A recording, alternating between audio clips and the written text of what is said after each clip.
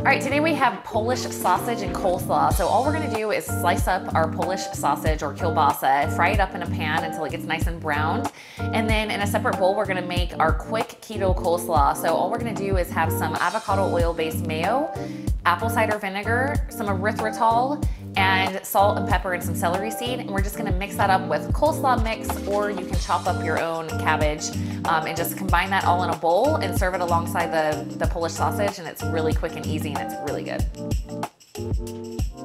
good.